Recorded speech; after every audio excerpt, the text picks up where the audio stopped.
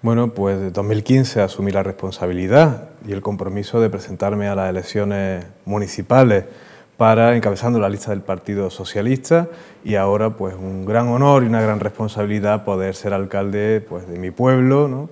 Y supone pues también ¿no? un, compromiso, un compromiso con Priego, con sus aldeas y también un orgullo, ¿no? pues que en primer lugar los compañeros confiasen en mí y ahora pues poder dar este paso también y asumir la alcaldía pues de mi pueblo, que es uno de los pueblos más bonitos de España.